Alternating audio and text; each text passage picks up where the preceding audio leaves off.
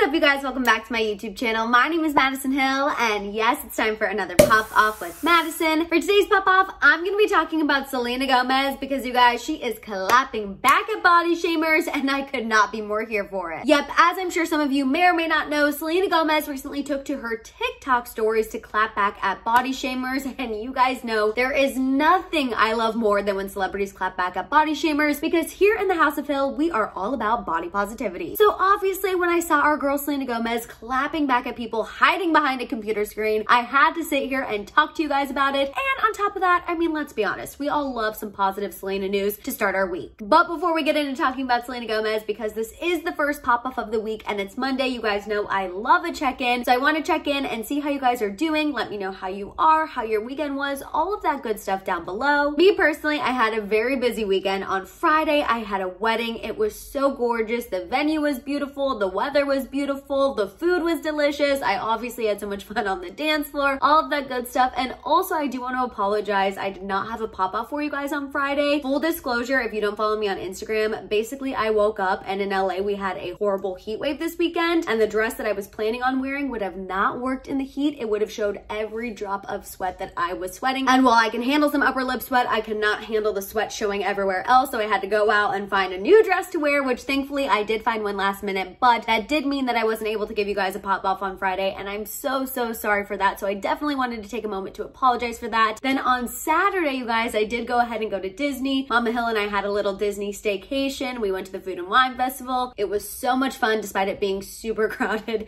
and very hot. But yeah, that's really all that I have to fill you guys in on. Today I'm feeling a little bit tired. My allergies are definitely killing me because the freaking temperature keeps changing here in LA. Don't know if anyone else with allergies can relate to that. It is absolutely horrible. If you're an allergy person, just know I'm suffering right there alongside with you. But I'm gonna go ahead and stop talking about myself because I know you straight to the tea people are like, okay, Maddison, wrap it up. We wanna get to the Selena tea and I don't blame you. So go ahead and put this time code down there in the comments to help out your fellow straight to the tea people. And now let's not waste any more time and get straight to unwrapping these Selena Gomez facts. All right, so as I'm sure a lot of you already know, Selena Gomez has been super active on TikTok lately and obviously I love it. She's confirmed that she's single over on TikTok. She served several iconic looks over on TikTok and even more recently, she gave Camila Cabello some love on TikTok and posted a video of her dancing to one of Camila Cabello's new songs. Now, personally, when I saw this TikTok of Selena Gomez dancing to Camila Cabello, I saw someone who was having fun, living their best life, literally having no cares in the world. But of course, because the internet is, as I like to say, the internet, some other people saw this video and decided to criticize and comment on Selena Gomez's weight. Therefore, Selena Gomez had to take some time to get these people together and she decided to do so over on her TikTok stories and she started her clapback at these body shamers first saying, quote, so I'd be trying to stay skinny, but I went to Jack in the Box and I got four tacos, three egg rolls, onion rings, and a spicy chicken sandwich, a girl truly after my own heart. She then continued saying, quote, but honestly, I don't care about my weight because people about it anyway. You're too small. You're too big. That doesn't fit. Then she went on to post this.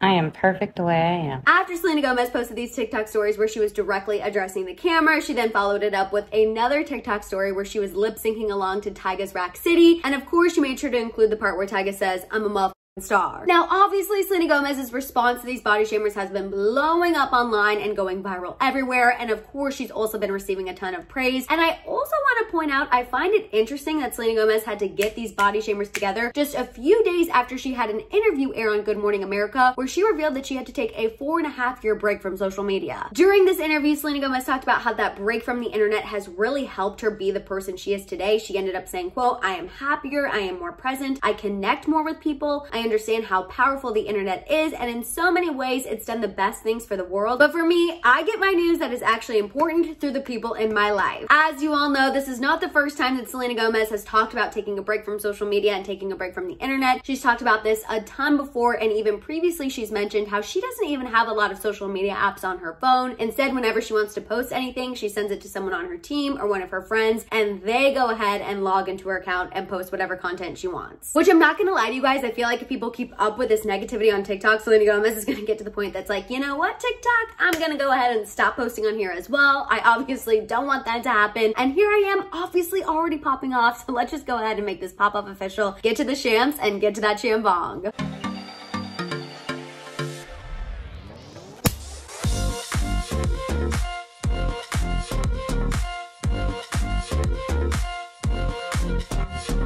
Okay, so first of all, you guys already know how I feel about body shamers. I literally cannot stand them. I personally will never understand how someone can sit behind a computer screen, anonymously of course, and criticize somebody else's appearance. Like in world does someone think that that's okay? And you know what? I totally understand Selena Gomez's frustration and why she couldn't just sit back and not say anything anymore because you guys know Selena Gomez a lot of times does not comment on things that are happening on the internet. She doesn't comment on drama happening on the internet. A lot of times she does remain unbothered and just remains quiet, but I feel like when it comes to body shaming, she finally had to clap back and put people in their place because unfortunately, this is not the first time as of recently even that Selena Gomez has been on the receiving end of criticism about her weight. For example, do you remember when she released her Latin album Revelacion? She was dancing on her Instagram story with one of her friends and of course, people on the internet took those clips and were talking about how Selena Gomez looked pregnant. Then there was also that Vax Live event that Selena Gomez hosted. People were commenting on how that red dress didn't fit her, how she looked heavier, again, how she looked pregnant. Like these are just two examples that are off the top of my head. I'm sure there's been even more, which is absolutely not okay. Because newsflash, and I don't know who needs to hear this, but clearly there's a large chunk of people on the internet who do, but weight fluctuates. Some days you're thinner, some days you're more bloated. That's just how the human body works. I mean, hell, even me personally, I feel like I looked different on Friday when I went to the wedding versus how I looked on Sunday after spending two days eating and living my best life at Disney. Like, that's just how bodies work. That's just how life is. If you are living your best life, I feel like, of course, your weight is going to fluctuate a little bit. It's normal. It happens to everyone. And I don't know when it became a thing that celebrities have to have the same weight at all all times at every single event. I just feel like that is just such an unrealistic expectation to have of anyone. And you know what really gets me? People love to complain about how celebrities aren't relatable and how they put out these unrealistic beauty standards to everyone and they put out these unrealistic beauty standards on social media. But then when you have a celebrity like Selena Gomez who is authentic and who is realistic and who is just being her normal self, people criticize her for that too. So it's just very confusing to me. It's similar to what I said about Kourtney Kardashian. Like, what do people want? Do you want celebrities to continue having these unattainable bodies? Or do you want celebrities to be relatable and promote normal, healthy body types? Like, which one is it? Because you can't have both. I'm sorry, it just drives me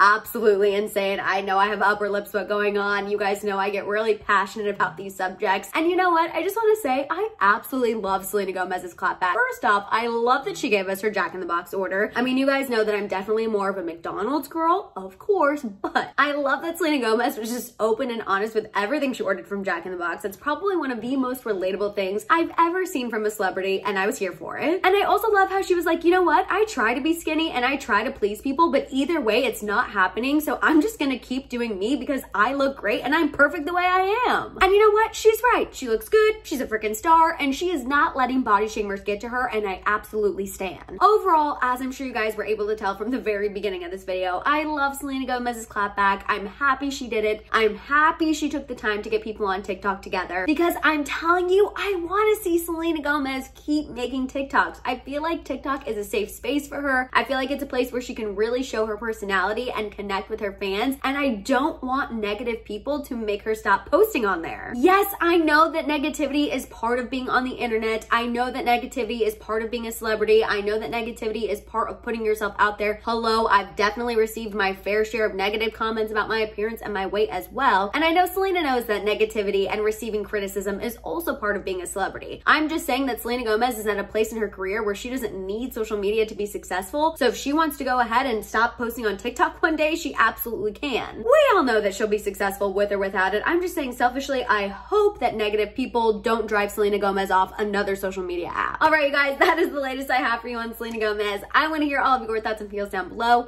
While you guys are at it, make sure you give this video a thumbs up. Please make sure you hit that subscribe button and don't forget that notification bell. For more content, make sure you follow me over on Instagram and TikTok. And of course, don't forget to keep coming back to my channel to check out my YouTube shorts. Especially make sure you check out my YouTube short from today because it is major, major, major Britney Spears news. So make sure you check that out. Also, you guys know you can find all my merch at hausofhill.com. And on that note, I'll see you guys next time. Bye, guys.